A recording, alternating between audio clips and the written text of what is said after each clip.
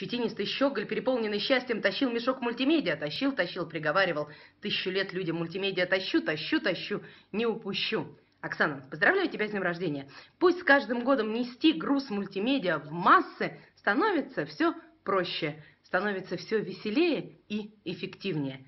С днем рождения! Удачи во всем!